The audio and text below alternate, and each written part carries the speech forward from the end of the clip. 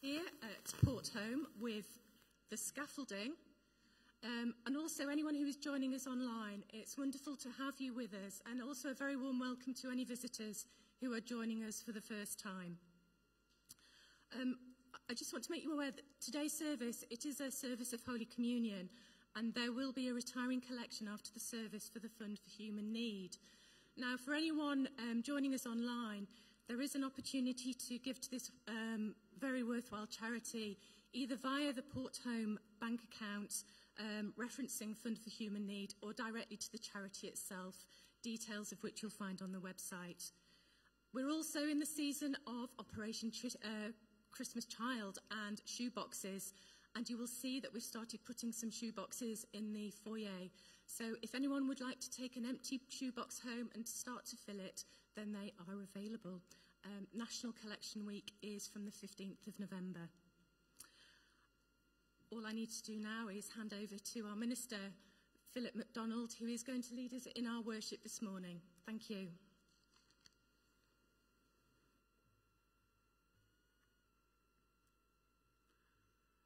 It's good to see you all this morning as we gather for worship. And as Sarah said, a special welcome also uh, to those who are joining us through the through the live stream?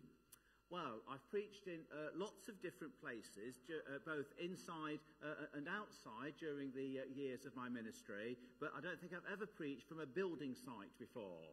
So to have, uh, to have scaffolding behind me is a, uh, is a first for me. But it's good that the, uh, that the work is underway. Uh, we're sorry to hear that there's been yet another uh, delay with some of the, uh, some of the materials, a bit of a, um, a bit of a hitch there. But the work is, is started and is ongoing, and we hope and pray that it will all be completed before too long, even if not quite as soon as we expected. But even so, it's good that this place is made available to us by the uh, by the builders uh, so that we can carry on worshipping uh, on Sunday mornings as usual. We're grateful uh, for that. Give thanks to the God of heaven, for God's steadfast love endures forever. And we affirm that Jesus calls us here to meet him. We stand to sing together.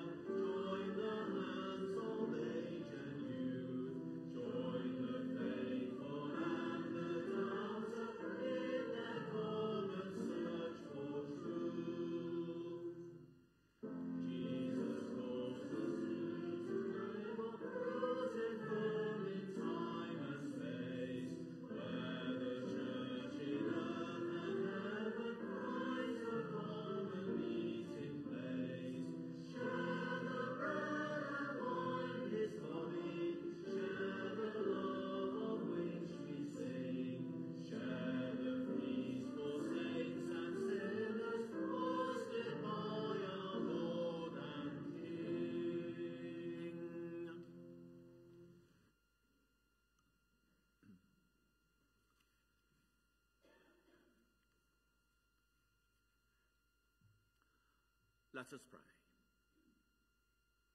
Eternal God, creator of all things, giver of life, we praise and worship you.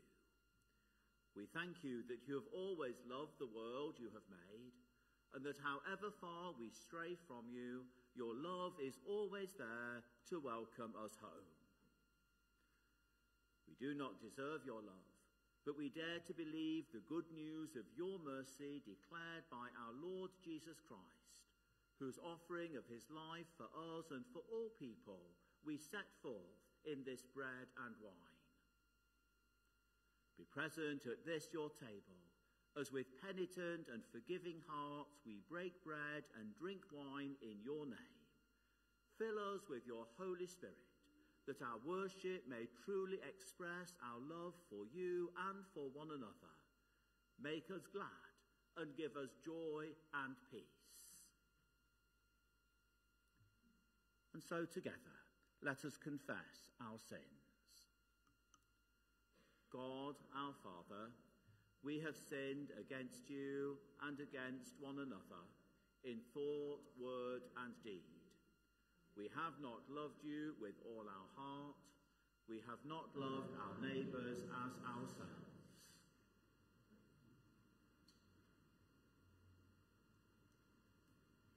But you have kept faith with us. Have mercy on us. Forgive us our sins and restore us to newness of life. Through Jesus Christ our Lord. Amen. Christ Jesus came into the world to save sinners. To all who turn to him, he says, Your sins are forgiven. He also says, Follow me.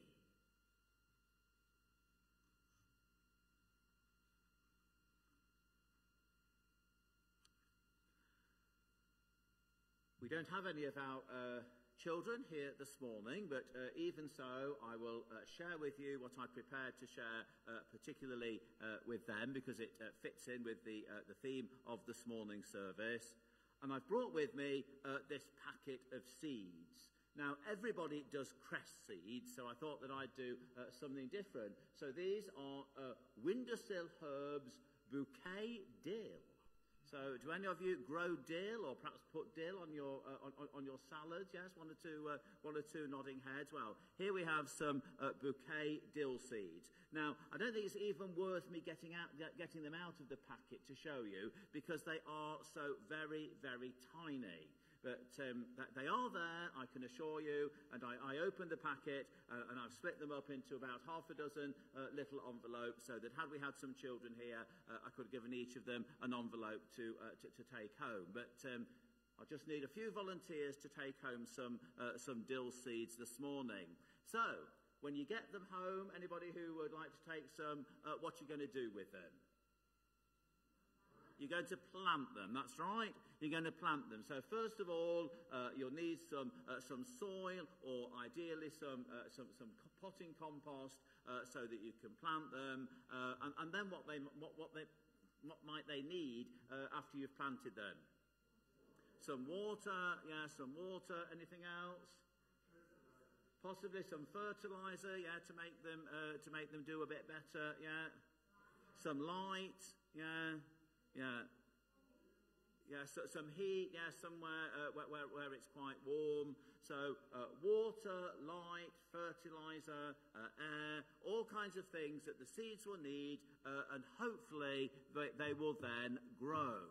And we're going to be thinking today about growing about growing our church because uh, two weeks ago tomorrow, uh, Nigel and Bridget and I uh, went on the Leading Your Church into Growth uh, National uh, Annual Conference. And our service uh, is going to be based around that uh, this morning. So, as I say, I brought these seeds with me. Who'd like to take some uh, bouquet dill seeds home with them and see, uh, see if you can grow them? See if you can get them to look like the, the, the, picture on the, the, the packet here. Okay, right, I'll come round.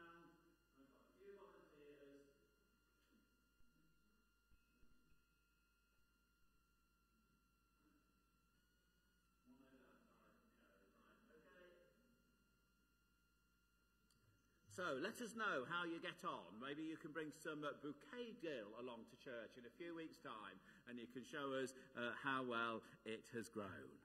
Right, we're going to sing Spirit of God, unseen as the wind. Uh, growing is something that, that, that takes place, but uh, you know, you, you can't actually see how it happens. You see the results of it, but you don't see just how it happens. Uh, and Jesus said it's like that with the Holy Spirit. The Spirit is at work uh, all around us, uh, just like the wind blowing, and we see the results of the Spirit's work, but we don't actually uh, see the Spirit Himself. And so we're going to sing Spirit of God, unseen as the wind gentle as is the dove.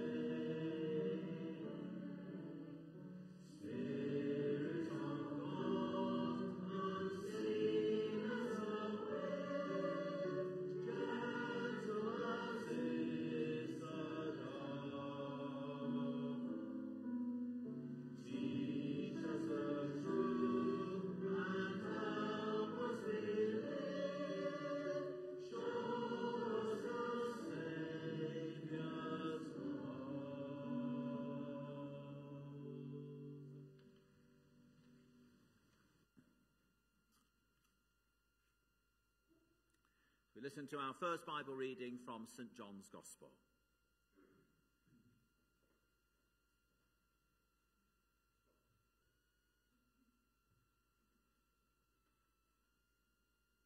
Reading from John chapter 15, verses 1 to 8. The vine and the branches. I am the true vine, and my Father is the gardener.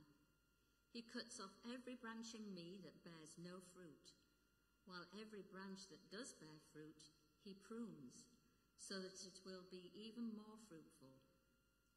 You are already clean because of the word I have spoken to you. Remain in me as I also remain in you. No branch can bear fruit by itself. It must remain in the vine. Neither can you bear fruit unless you remain in me. I am the vine, you are the branches. If you remain in me and I in you, you will bear much fruit. Apart from me, you can do nothing. If you do not remain in me, you are like a branch that is thrown away and withers. Such branches are picked up, thrown into the fire, and burned. If you remain in me and my words remain in you, ask whatever you wish, and it will be done for you. This is to my Father's glory, that you bear much fruit, showing yourselves to be my disciples. Amen.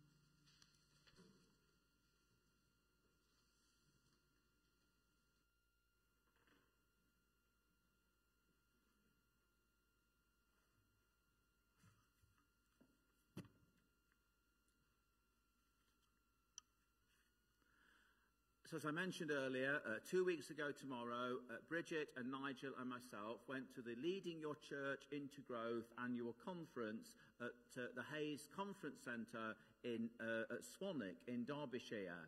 And this came about because the, uh, the Yorkshire Synod of the uh, United Reformed Church uh, was recommending uh, that every church in the Synod uh, be represented at the conference uh, this year. I'm not sure how many actually were, but Ashley Evans, who is the, the Synod evangelist, was one of the, one of the leaders and speakers at the, at the conference. And church growth is something that he is really, really pushing at the moment.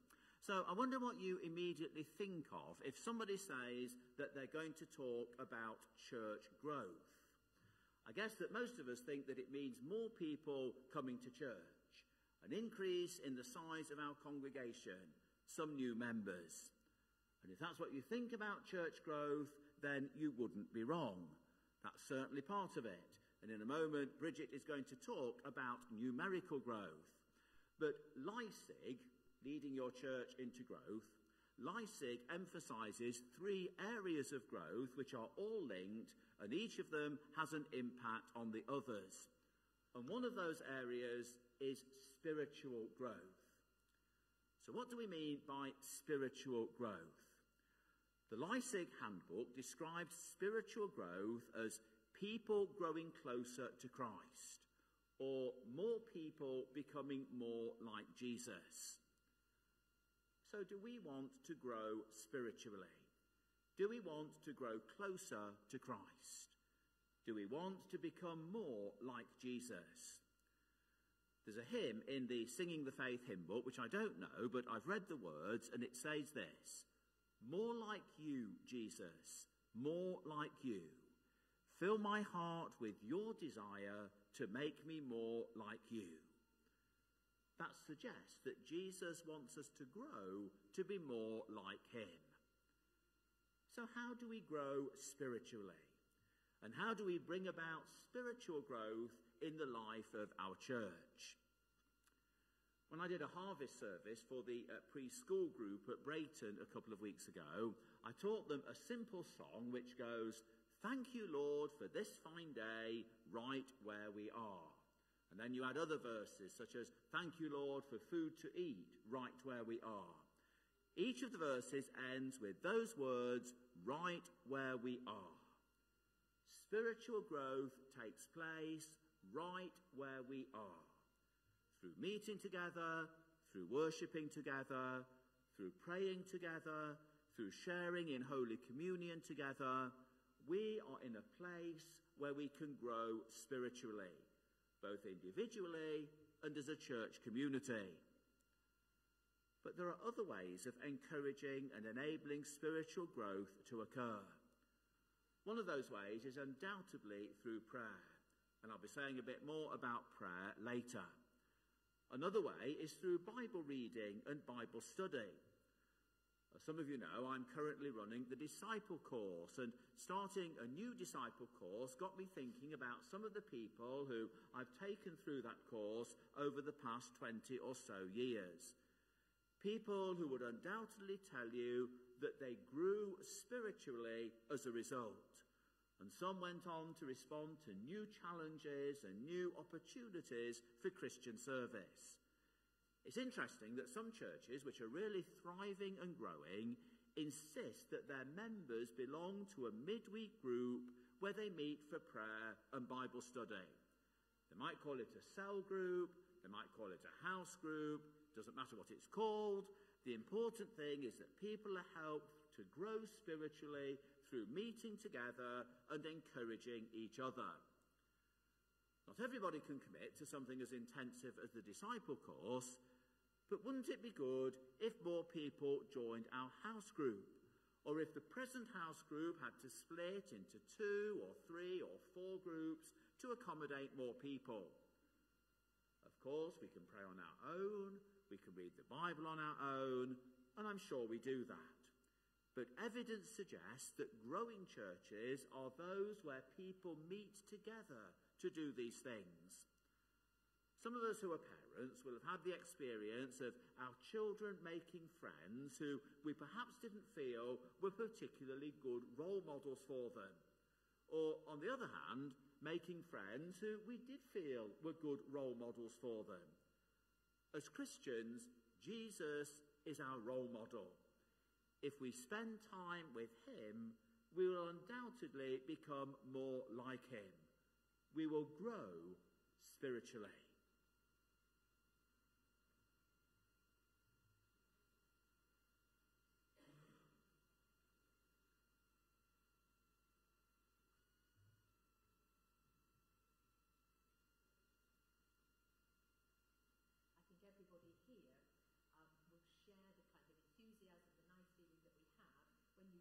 Come to our church and our church family grows and we some get to know new people and we make new friends. Praying for numerical growth, leading the church in the leading your church into growth conference, said it wasn't something that we had to be embarrassed about or subtle about because it perhaps feels a bit um, raw and a bit in your face if we're praying for more numbers, for more people to come to our church. But in fact, what we were told and encouraged to do is to be more intentional about it. It's fine to ask for more people. Why shouldn't we ask for more people? Why do we want more people? If we asked around the congregation today, I think we would get lots of different answers. But hopefully, at the core of all of that is because we want people to have a love of Jesus, to get to know Jesus, to share that love of Jesus that many of us have here in the congregation today. So, who may come? If we start to pray, who are these people that are going to come to our church? Some may be those with an existing faith, but think it's time for them to re engage with the church and the life and worship. So others might think, I've never heard about this. Lots of people have talked about it to me over the years. I really don't know what it's about. I wouldn't mind going to a church and see if I can find out, just to learn more about whether this whole Jesus thing is something that's going to be right for me. Other people may have had a connection with this church or other churches through christenings, weddings, funerals, had a friend that came to church, maybe through a parent and toddler group, all sorts of different activities. And they've suddenly thought, do you know what? After all of these years, all of a sudden something is talking to me about going to church. I'm going to try a church. Some people might think, Portholme Church, I've heard that's a friendly church. Perhaps that's where I'll go. I'll just go and see what it's like there. Whether they actually can say it's because I want to develop a relationship with God or find out more about God, might not even even think about it. But it perhaps might be somewhere where they want to make friends. And one of the quotes that we had in that uh, at the conference was, "It's all very well being a friendly church, but what actually lots of people come to church because they want to make friends. So it's nice to welcome people, and can't give people a handshake, but a nice smile and things. But actually, lots of people come to church because they want to make friends. And here at Portholme, I think we are good at making friends. And are we prepared to do that as more people come to our church?" I think praying for numerical growth, and that is, will be part of the prayer that we're going to share later on, complements the ideas and the thoughts that we had on our Vision Day as we explore the growth and development of um, here at Portholme Church.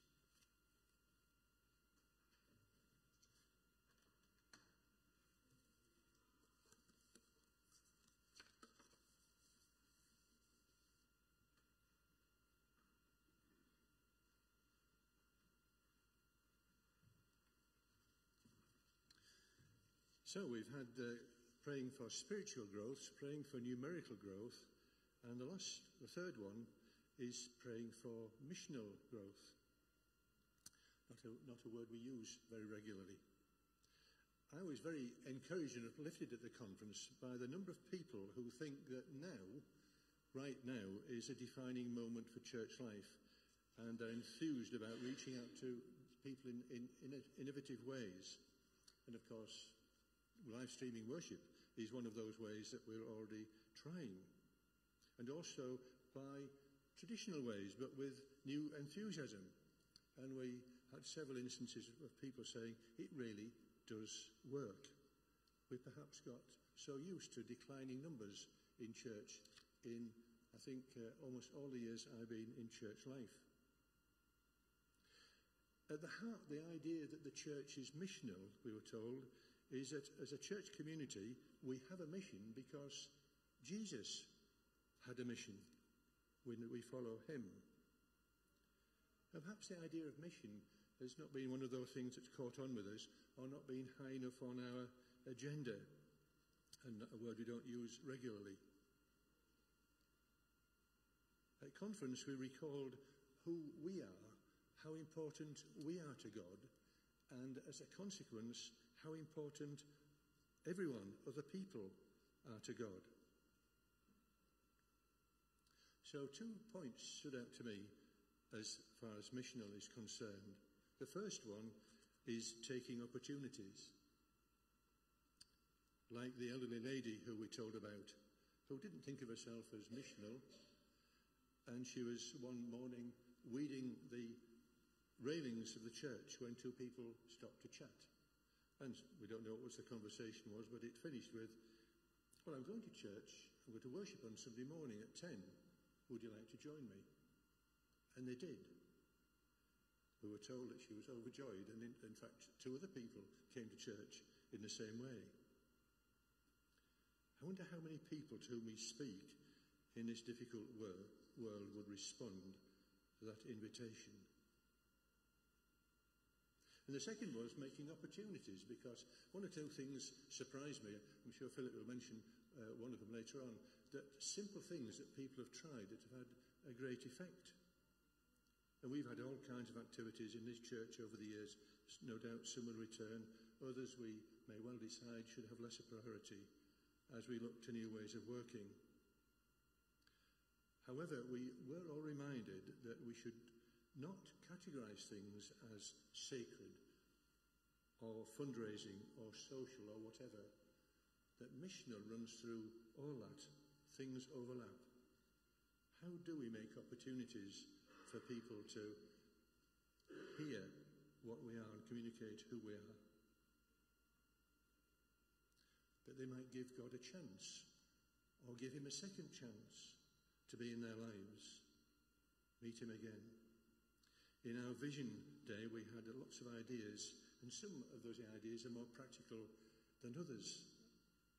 I think this conference came at an appropriate time because it gave us some ideas about where our priorities should lie. Leading your church into growth stresses the need to focus on just a few ideas, not tackle everything, and be determined to progress them. The question asked by one of the conference leaders was if you're not leading your church into growth, where are you leading? And that keeps returning to me because it's not a, not a question we want to leave and let lie. Another contributor said to me, when the church is in mission, it is the true church. Well, we've all come this week, and most of us, I guess, will come next week. Isn't that something, if we feel a need to do that, we ought to be telling others in any way we can?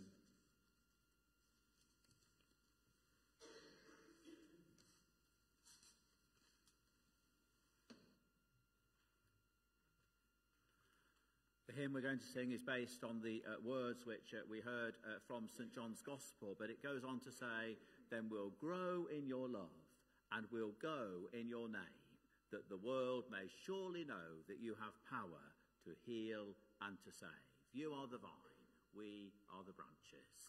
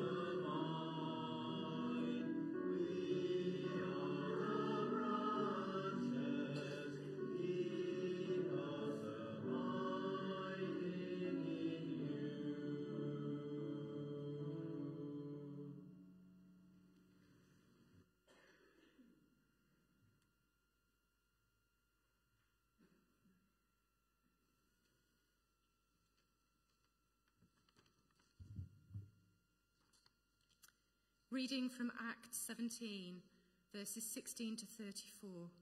It's entitled In Athens.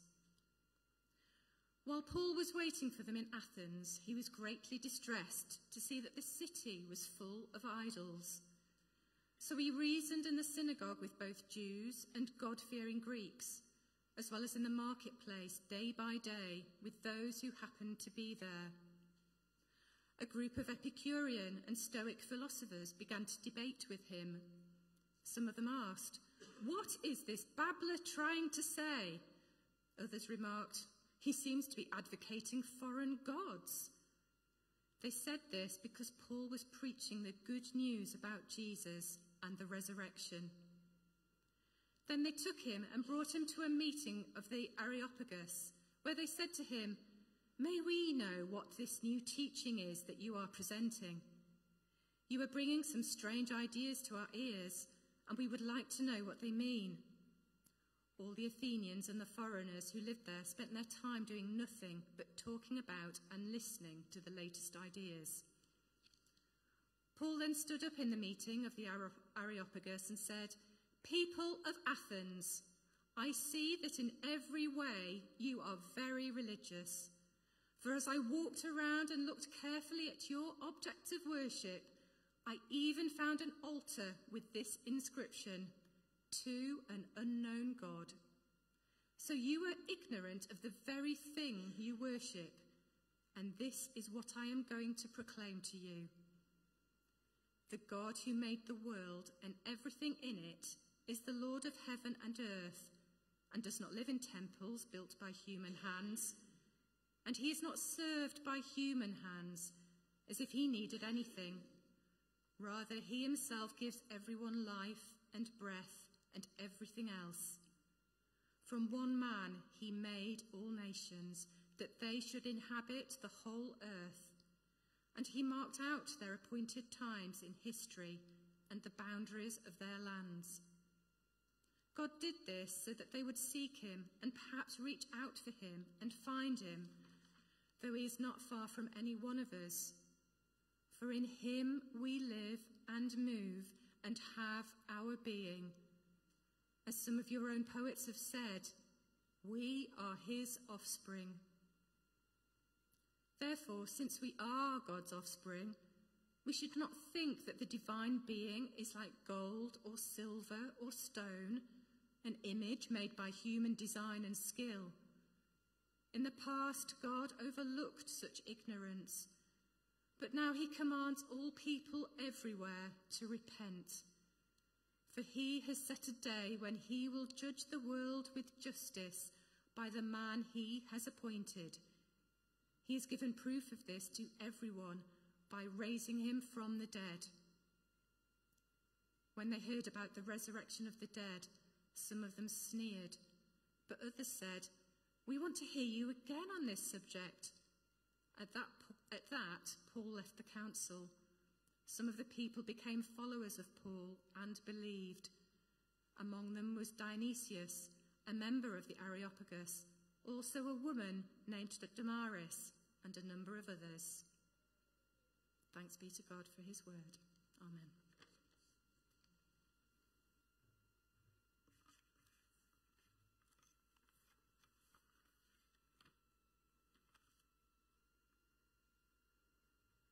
I'm sure that some of you will remember the uh, TV quiz program Blockbusters. Do you remember that? Hosted by uh, Bob Holness. Uh, and you may remember that uh, teenagers had to uh, complete a path across a board by uh, answering a number of questions. And they could choose a question uh, knowing what letter the answer would begin with. And of course, being teenagers, there was always a great hilarity when a contestant said something like, I'll have a P, please, Bob. On our Leading Your Church into Growth course, we had four P's. And these P's are intended to help us in growing our church. And we were told that this strategy has been, used, uh, has been used fruitfully by lots of growing churches. The first P is prayer. I mentioned prayer when I was talking about spiritual growth. Growth, whether spiritual or numerical or missional, needs to be rooted and grounded in prayer. Brother Roger of Taizé said, When the church becomes a house of prayer, the people will come running. We were told at the LYCIG conference that we should be intentional about praying for growth and that such prayer should be a priority in the life of the church. We were introduced to a particular prayer that we'll be saying together later in the service, which I hope will become a regular feature in our worship here at Portholme. If you're connected to a different church and you're joining us uh, online for this service, then you can equally well offer the same prayer for your own church. At the beginning of the reading from Acts chapter 17, which we've just heard, we're told that Paul was greatly distressed to see that the city of Athens was full of idols. In other translations, it says that he grew dissatisfied or that he was greatly upset. I wonder if we are dissatisfied or upset by the state of the church in our country today. The fact that so many congregations are in decline. So many are made up predominantly of elderly people who are growing tired and wondering how much longer they can carry on. Are we distressed or upset by the fact that our churches, on the whole, fail to attract new people? Paul's dissatisfaction and distress caused him to do something. It caused him to engage with the people in the city. Similarly, our distress and dissatisfaction should cause us to do something. It should cause us to start praying earnestly for church growth. Because unless what we do is rooted and grounded in prayer, then it won't be effective. Paul was bold in speaking about Jesus. And we'll be thinking more about that in a moment. But first and foremost, we need to be bold in our praying. We can pray alone, as I said earlier, but it's good to pray together. And I would commend our monthly Portholme prayers, where we'll certainly be making church growth a, a, a, a focus of our praying from now on. The second P is presence. It says in the LYCIG handbook that there are three key gifts which we have to help us with presence. Firstly, we have our church buildings. I find it strange when I hear of people saying that they didn't know that this particular building was a church. But at the same time, just think how many people come into this church, at least when we've got a roof on and when we're operating normally and hopefully we'll get back to that sometime soon. Because so many people come through our doors, we can be a real presence in the community. And that's true of so many churches which are used by the wider community. The second gift, gift is that most churches have a history of being part of the community. And that's certainly been true of Portholme. How many people have come to, uh, to this church uh, because of Pike, our parents and young children's group, over the past 25 years or more? How many children have come to our holiday clubs? How many people have been to our coffee mornings? Again, it's true of many other churches as well. And the third key gift is what we sometimes call occasional offices. Uh, Nigel mentioned this weddings, baptisms, and funerals we have a presence in the community. And we need to think and pray about how we can develop that presence, how we can build relationships with those who we know uh, or, or people who have been to our church for one reason or another. And let's not forget our new neighbours who will be moving into the houses across the road very soon, and amongst whom we must make our presence known. Paul made his presence felt in the synagogues and in the marketplace.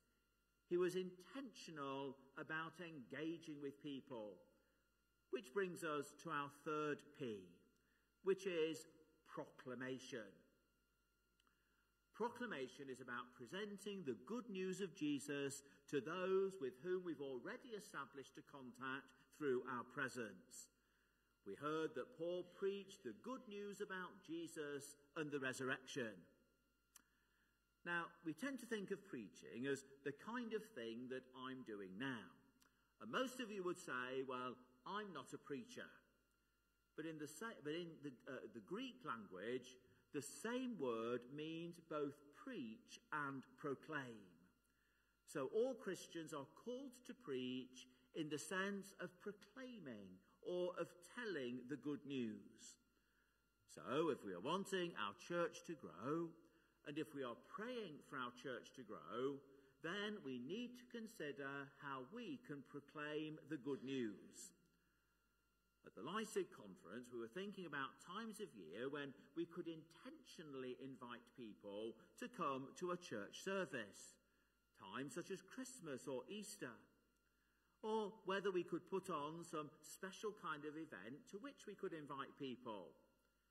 Here at Portholme, our plans for the harvest weekend, when we were going to invite our new neighbours, were thwarted by uh, the roof.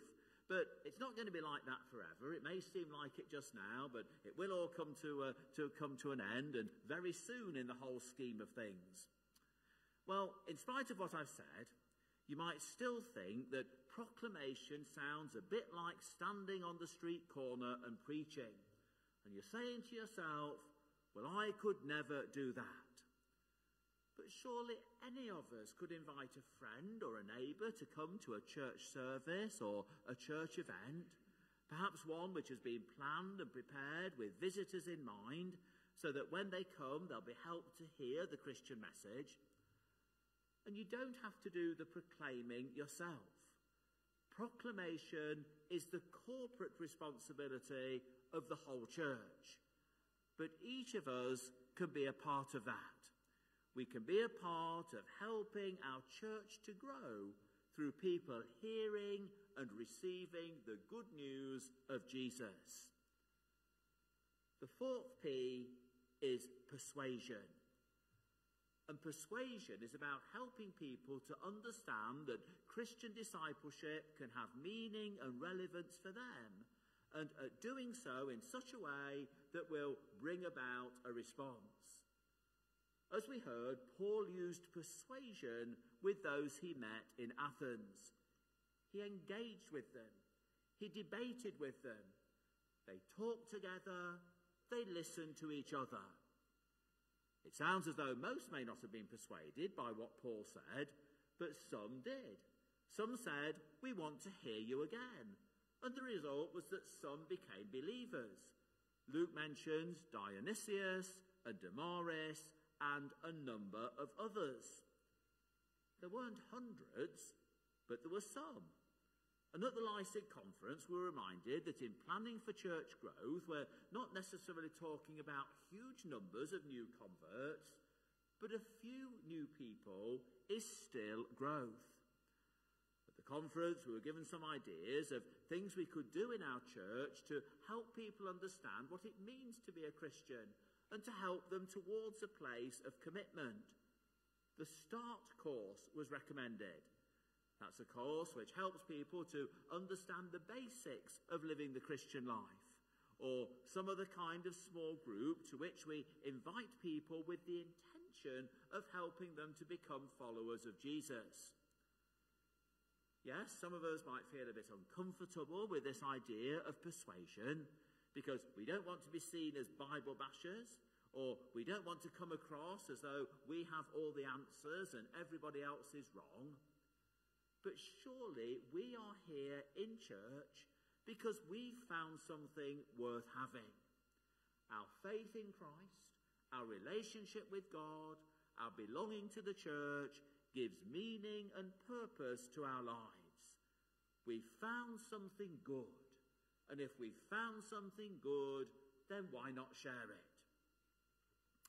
I don't know if anyone saw uh, Scotland's Sacred Islands with uh, Ben Fogle. Uh, it was on uh, last Sunday, just at the time when uh, you would be in church. So maybe, uh, like me, you, you watched it later on catch up. But amongst the islands Ben Fogle visited was Iona. And he was talking about uh, St. Columba and his uh, treacherous journey across the sea from Ireland in 563, when uh, Columba and his fellow monks uh, brought the, uh, the Christian faith to Iona, and then it spread to uh, other parts of Scotland and northern England. And Ben Fogle used the phrase, with reference to, to Columba, dream big or go home. Dream big or go home. And that's what we need to do when it comes to church growth. So let's dream big and let's resolve to pray and to work for the growth of our church. Amen.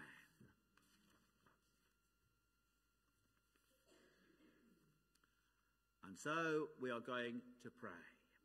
And we're going to use the uh, prayer for growth uh, which has been given to us by the uh, Leading Your Church into Growth movement. So we'll share this prayer together, and then uh, that will lead us into the other prayers that uh, we're going to say. So, together, let us pray. God of mission, who alone brings growth to your church, send your Holy Spirit to Portholme Church to give vision to our planning wisdom to our actions, joy to our worship, and power to our witness. Help our church to grow in numbers, in spiritual commitment to you, and in service to our local community. Through Jesus Christ our Lord. Amen. And as we continue in prayer, when I say the words, Living Lord, I invite you to say with me, Hear our prayer. Living Lord, hear our prayer. As we pray for the growth of our church, we pray that we may grow spiritually, that we may grow closer to Christ and so become more like Him. We pray that we may grow missionally as we share the love of Christ in our community and beyond. And we pray that we may grow numerically as we invite others to our church and as we welcome them amongst us.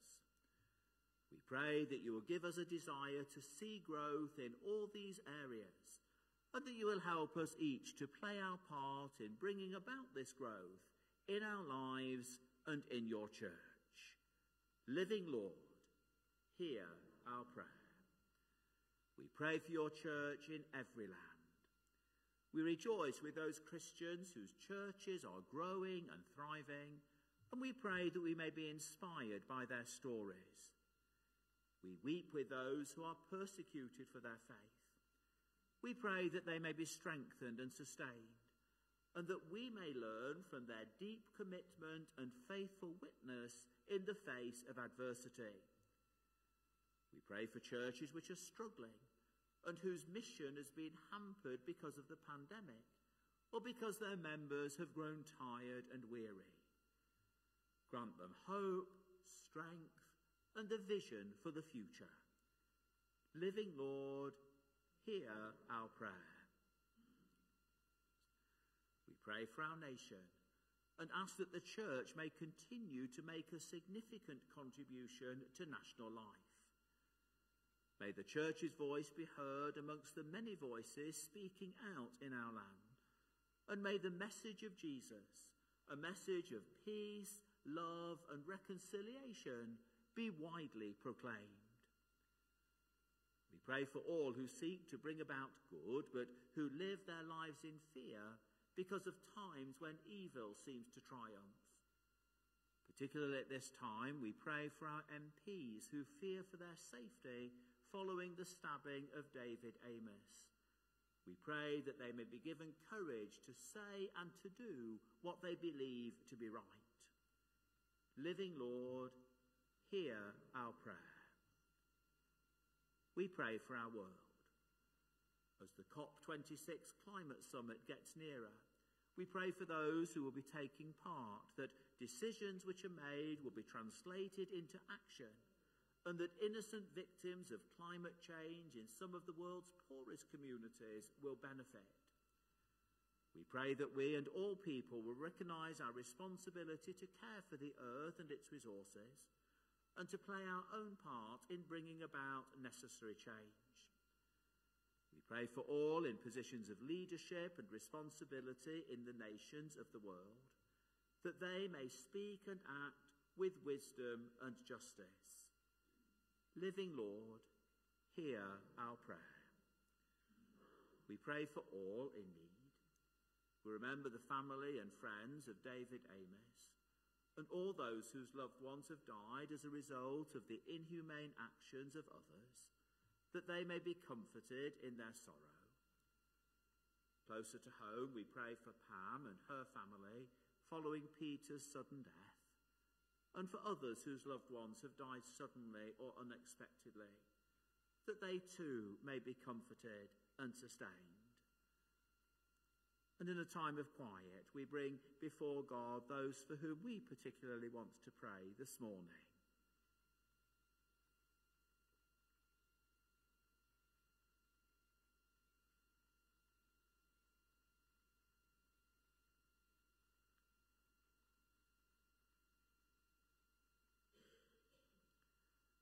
Living Lord, hear our prayer. Our prayers we offer in and through the name of Jesus, who gives life to all. Amen. We share together in saying the Lord's Prayer. Our Father in heaven, hallowed be your name.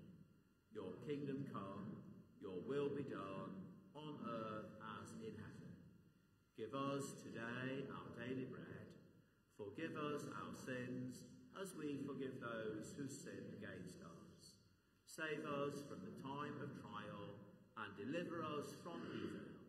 For the kingdom, the power, and the glory are yours, now and forever. Amen. As we prepare to share together in Holy Communion, we sing the hymn, Lord Jesus Christ, you have come to us, living Lord.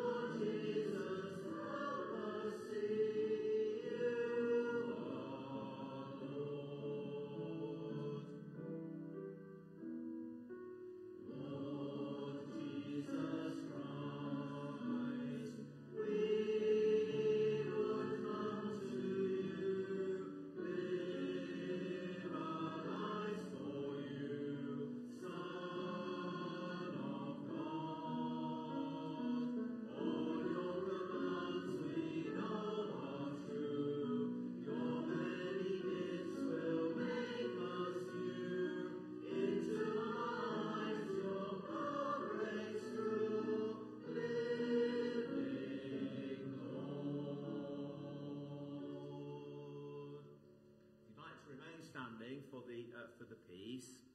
And we're going to do what we did at the, uh, the, the LYCIG uh, conference. As you know, uh, we're being discouraged from uh, touching each other, shaking hands or hugging or anything uh, at, at, the moment. Uh, so what we did at the LYCIG conference is that we shared the peace by waving to each other.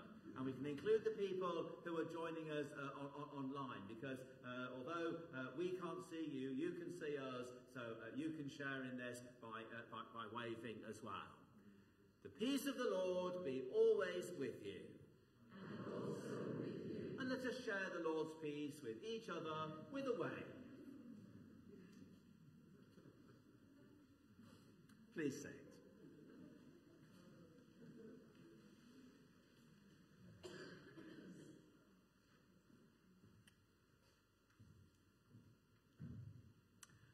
As we gather at this table, we remember that Jesus was born of Mary. He lived our common life on earth. He suffered and died for us. On the third day, God raised him from the dead, and he is always present with us through the Holy Spirit. In his presence and in the company of all the people of God, past, present, and to come, we celebrate the supper of the Lord. Listen. I am standing at the door knocking. If you hear my voice and open the door, I will come into you and eat with you, and you with me. Here again the words of institution of this feast as they are given by the Apostle Paul.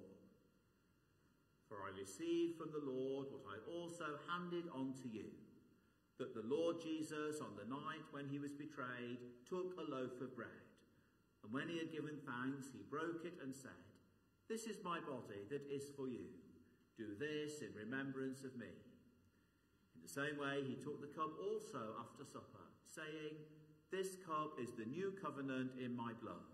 Do this as often as you drink it in remembrance of me. For as often as you eat this bread and drink the cup, you proclaim the Lord's death until he comes.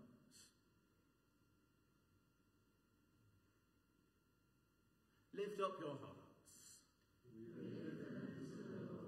Let us give thanks to the Lord our God. We give thanks to you, O God, that from the earth you caused the grain to come for the making of bread, and that you caused the vine to yield fruit. We praise you for Christ, the bread of life and true vine, whose body was given for us and whose blood was poured out for us. By your Holy Spirit, sanctify us, and these your gifts of bread and wine, that the bread which we break may be the communion of the body of Christ, and the cup which we bless may be the communion of the blood of Christ. As we share the sufferings of Christ, so give us grace to know the power of his resurrection, that we may be made one and evermore abide in him to your praise and glory through Jesus Christ our Lord. Amen. When Jesus had given thanks, he broke the bread and said, Take, eat.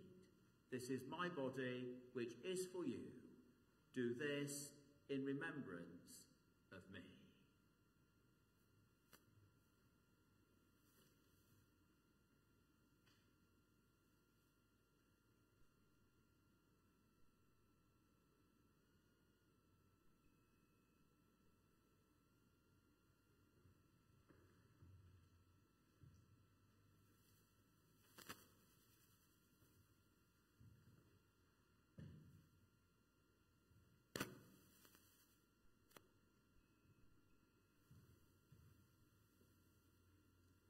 will be distributed and then we will all eat together and similarly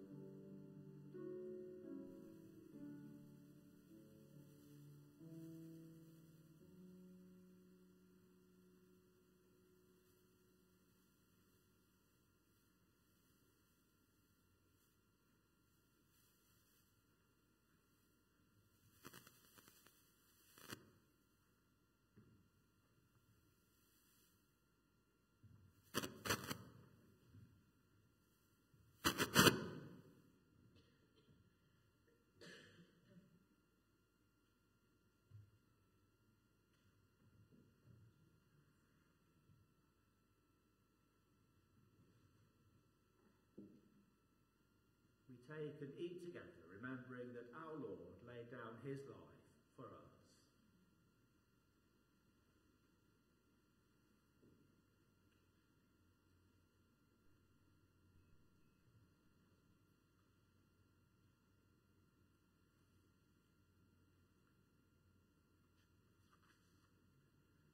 When Jesus had given thanks, he gave the cup to his disciples and said, Drink this, all of you, for this is my blood of the new covenant, which is shed for you and for many for the forgiveness of sins.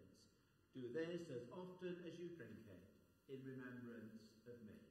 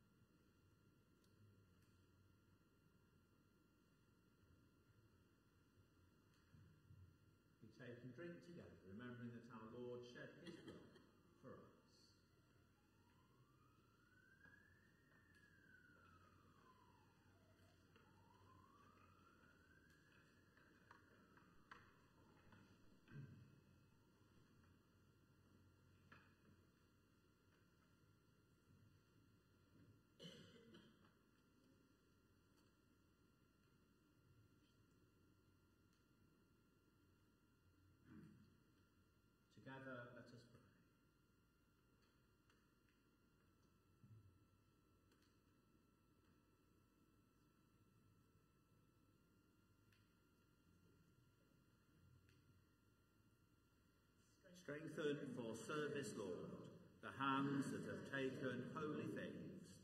May the ears that have heard your word be deaf to clamour and dispute. May the eyes that have seen your great love shine with the light of hope. May the tongues that have sung your praise also speak the truth. May the feet that have walked in your house ever walk in the light. May the bodies that have tasted your living body be restored to newness of life. Thanks be to God for his gift beyond words. Amen. We sing the hymn, Hear the Call of the Kingdom.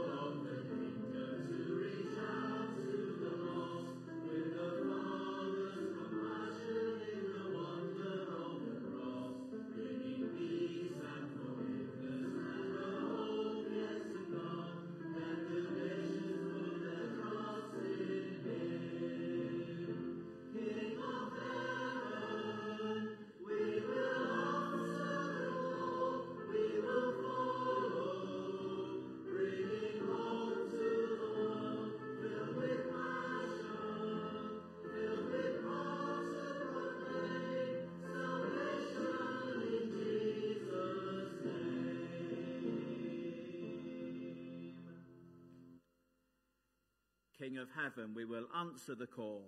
We will follow, bringing hope to the world, filled with passion, filled with power to proclaim salvation in Jesus' name. Lord, we pray that this may truly be our prayer and that we may pray and work for the growth of your church. And may your blessing, the blessing of God, who is Father, Son, and Holy Spirit, rest upon us and remain with us this day and always. Amen.